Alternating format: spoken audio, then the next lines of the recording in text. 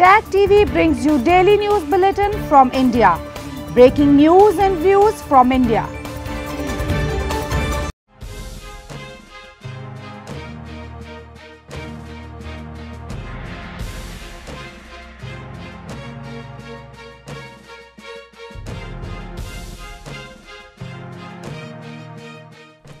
Good evening. Welcome to South Asia Newsline. I'm Uzma Jafri. Here are the top stories we are tracking for you on Monday, the 4th of January.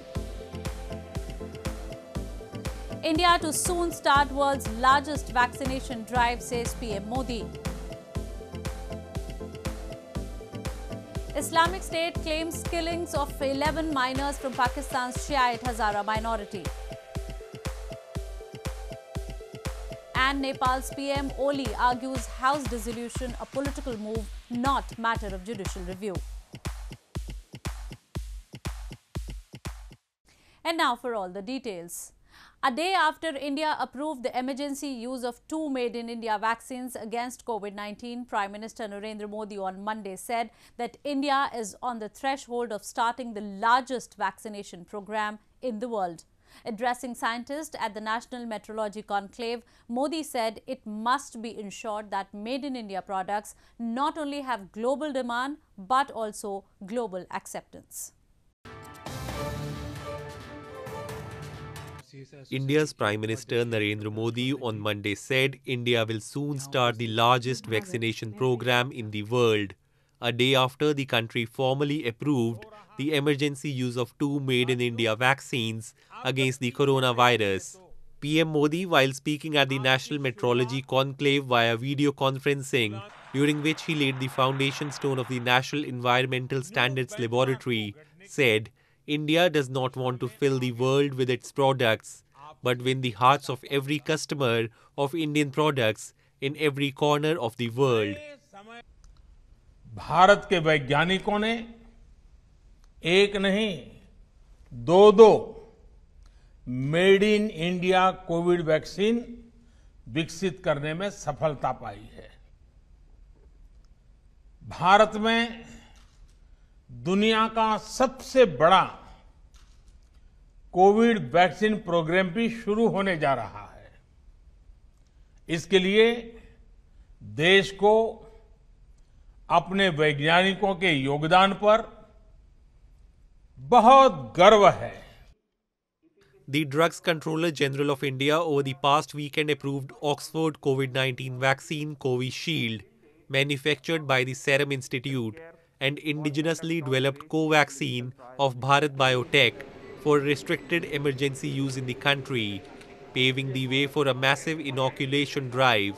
Meanwhile, as the country is witnessing a downfall in the daily COVID 19 cases, authorities are easing restrictions like reopening schools and temples in several states after months of lockdown due to COVID 19 precautions. The COVID 19 active caseload continues to remain below the 300,000 mark in India, with only 16,505 new infections recorded on Monday. The number of people recovering from the disease also continues to rise, which has pushed the national recovery rate to 96.19%. Farmers' protest against new farm laws entered the 40th day as the seventh round of talks between the Indian government and the representatives of protesting farmers resumed on Monday afternoon to resolve the impasse. The farmers' protest against three new agricultural laws that liberalize agriculture sector entered the 40th day, while the seventh round of talks between the farmer unions and the Indian government took place on Monday afternoon to end the month-long deadlock. The meeting on Monday could not reach a breakthrough as the government once again ruled out rollback of the three farm laws, which has been the main demand of the protesting farmers. The government has argued the farmers will gain if private players can buy directly from them, bypassing antiquated wholesale markets. Meanwhile, the farmer unions rejected the government's offer of amendments. Another round of talks between the two sides is now set to take place on January 8. सरकार सरकार कहती है कि आप point wise बात कर लो एक एक पॉइंट और एक एक उस पर बात कर लो लॉ पे तो वो हमें मंजूर नहीं है हम क्योंकि हम रिपील कराना चाहते हैं Farmer leaders had earlier announced they would intensify protests if their demands were not met. on Monday, several Buddhist monks also joined thousands of farmers who have been camping out at New Delhi's borders since late November, despite cold and rain in the past few days. In news from Pakistan, Pakistan Muslim League Nawaz Party leader Maryam Nawaz on Sunday said that the days of Prime Minister Imran Khan led government are numbered as she addressed a grand rally of Pakistan Democratic Movement, an 11 party opposition alliance. The opposition has intensified its rallies and warned of a long march to Islamabad if Khan does not resign by 31st of January. Calling Prime Minister Imran Khan as fake and incompetent Prime Minister, Pakistan Muslim League Nawaz or PMLN Vice President Maryam Nawaz on Sunday said that the support of people in Bahawalpur has shown that the government's days in power are numbered.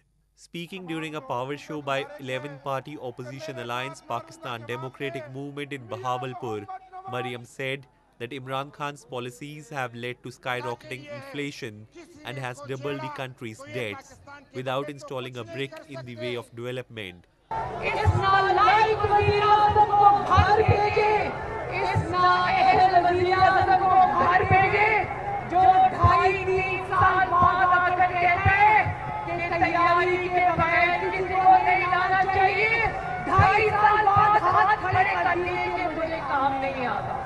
Meanwhile, PDM chief Maulana Fazlur Rahman called the opposition's drive against Imran Khan led PTI government a jihad and announced that stepping back from it would be a major sin.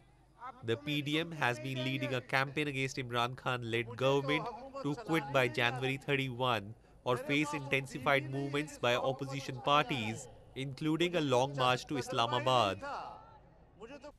Moving on. The militant group Islamic State has claimed responsibility for the Sunday's attack that killed 11 miners from Pakistan's Shiite Hazara minority in Balochistan province. Hazaras have been frequently targeted by Taliban, Islamic State and other Sunni Muslim militant groups in both Pakistan and Afghanistan.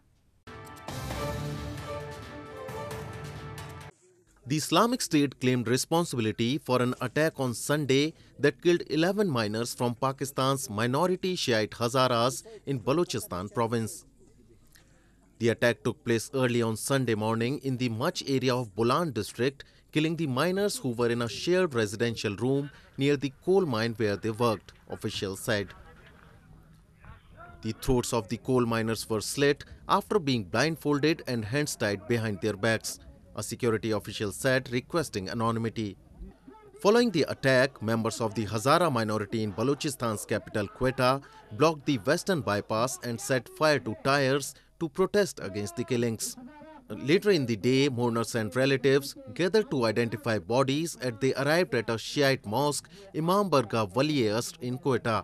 हुकूमत इन दहशत गर्दों को control करने में नाकाम रही है और हज़ारा कौम इस पर एहतजाज करने का हक महफूज रखती है और इसके जिम्मेदार मरकजी हुकूमत और सूबाई हुकूमतें दोनों हैं The attack came after a relative lull in nearly a year of violence against the mainly Shiite Hazara minority in the province. Shiite Hazaras have been frequently targeted by Taliban, Islamic State and other Sunni Muslim militant groups in both Pakistan and Afghanistan. In news from Afghanistan, Afghan President Ashraf Ghani on Sunday evening held a meeting with the Afghan negotiators in Doha peace talks and assured them of the government's full support. Ghani, ahead of the next round of peace talks, which is scheduled for 5th of January, said the government and the people of Afghanistan are supporting the negotiators and expect them to continue the talks in the light of the constitution and the people's views. Afghanistan's President Ashraf Ghani met with Afghan negotiators on Sunday evening and assured them of the government's full support, informed the presidential palace.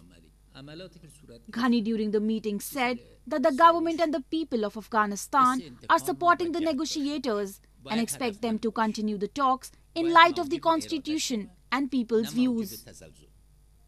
This comes as next round of peace talks between the Afghan negotiators and the Taliban after a break of 23 days is scheduled to begin in Doha on January 5.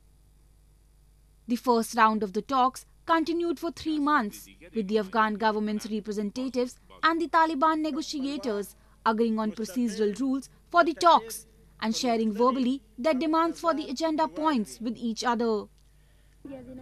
The Afghan government's negotiating team held three meetings with the leadership committee of the High Council for National Reconciliation during the halt between peace talks since December that was aimed at further discussions around the next steps in the process.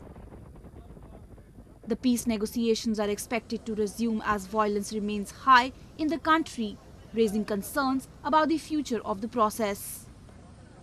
Moving on to news from Nepal. Nepal's Prime Minister KP Sharma Oli, who has been reduced to a caretaker Prime Minister since December 20, has defended his move of dissolving the parliament, saying it was a political move and that it does not warrant a judicial review.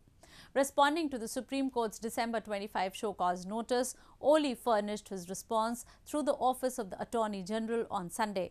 The 11 page response from Oli to the Supreme Court stated both the acts recommending the dissolution of the House and its dissolution are purely political decisions. The Supreme Court itself has set a principle that on such issues, questions of constitutional and legal validity must not be the matter of judicial review. Oli argues that he was forced to seek a fresh mandate as the government was held hostage to infighting in his ruling Nepal Communist Party. After dissolving the parliament, Oli has called snap polls for April 30 and May 10. Scores of tourists thronged the snow-covered peaks of Gulmarg in India's Jammu and Kashmir this past weekend to enjoy winter sports. The tourists expressed they were eagerly waiting for the winter season to take part in adventure sports like ice skating, skiing, gliding and racing. Tourists swarmed the snow-covered peaks of India's premier ski resort town, Gulmarg, in the Union Territory of Jammu and Kashmir this past weekend to enjoy winter sports amid the coronavirus pandemic. Gulmarg, a bowl-shaped plateau at an altitude of 8,500 feet in Pir Panjal of the Himalayan range, is a favorite among tourists from across the country and outside to try out different winter sports. Tourists and participants said they were eagerly waiting for the winter season to enjoy the snow and participate in adventure sports like ice skating, skiing, gliding and racing. कई दिनों से ये इंतज़ार कर रहे थे कि इस तरह एक साथ में इतनी तमाम गेम्स का इनाग्रेशन कब होगा। अलग अलग स्टेट से कई सारे प्लेयर्स आप देख रहे हैं यंग प्लेयर्स आए हुए हैं, जो यहाँ पर इस सीज़न में ये चाहते हैं कि कश्मीर में उन्हें मौका मिले कि वो अपना जलवा दिखाएँ एंड स्केयर हो या तमाम वो लोग जो विंटर स्पोर्ट्स से जुड़े हुए हैं। आज वो अलग अलग स्टेट से यहाँ पर आए हुए हैं और उन्हें वेलकम किया जा रहा है। और ओवरऑल उसे इसका सबसे बड़ा मैसेज ये है कि जो हमारा कश्मीर का टूरिज़्म है, वो उसे बूस्ट किया जा रहा है। सो ये एक अच्छा साइन है sir Kashmir touts itself as the Switzerland of the East. It is a mecca for climbers, skiers, honeymooners, and filmmakers who are drawn to the region's soaring peaks, fruit orchards, and timber houseboats bobbing on the iconic Dal Lake in Srinagar. Moving on. The tallest statue of Hindu Lord Shiva in India was unveiled recently on the premises of Azhimala Temple in southern Kerala state. The 58 feet tall statue made of concrete depicts Shiva having wavy hair with holy Ganges on his head. The statue was completed in a duration of six years by a local artist.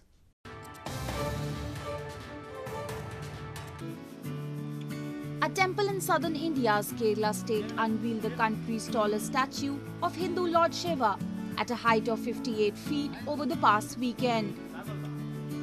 The statue at Azimala Temple in Kerala's capital Thiruvananthapuram lies at the shores of Arabian Sea.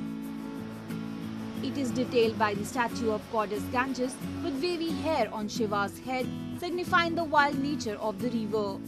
പുരാണത്തിലെ ഇത് ഗംഗാധരേശ്വര ശിവരൂപം എന്നാണ് പറയപ്പെടുന്നത് അപ്പം ഈ ഗംഗയെ ഭൂമിയിലോട്ട് കൊണ്ടുവരുന്ന ഒരു area ആണത് അത് കാരണം സമൃദ്ധിയാണ് അതിന്റെ ഒരു വെർഷൻ അങ്ങനെയാണ് ആ ചൂസ് ചെയ്തത് കാരണം ഇവിടെ ഒരു ഇവിടെ നമുക്ക് ഒന്നിനും ഒരു കുറവില്ല കാരണം ഈ ഈ സ്ഥലത്ത് വന്നിരുന്നാൽ നമുക്ക് ആഹാരം പോലും വേണ്ടെന്ന് തോന്നും അത്രയ്ക്ക് ഒരു എനർജറ്റിക് ആയിട്ടുള്ള സ്ഥലമാണ് The statue took six years to complete. The monolith sculpture lies at a height of 20 feet from the sea. Well, that's all we have for you from South Asia this evening. Now our viewers can watch the show on SouthAsiaNewsline.com. You can also visit us on Facebook.com slash SAsiaNewsline and follow us on Twitter at SAsiaNewsline. That's all in tonight's edition. We will see you same time tomorrow. Good night.